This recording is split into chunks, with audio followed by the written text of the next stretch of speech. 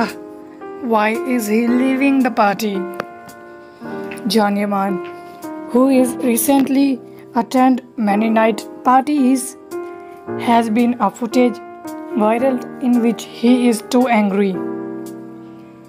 The reason of his angriness is not founded, but the body movement of Can Yaman has looking that the fans never have seen before.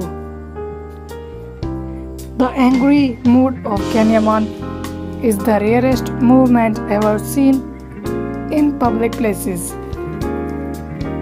That's mean the incident happened in party has been really too much awkward for Can Yaman.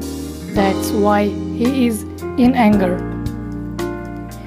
Whereas there are many reasons why he is angry cause of girls or his friends.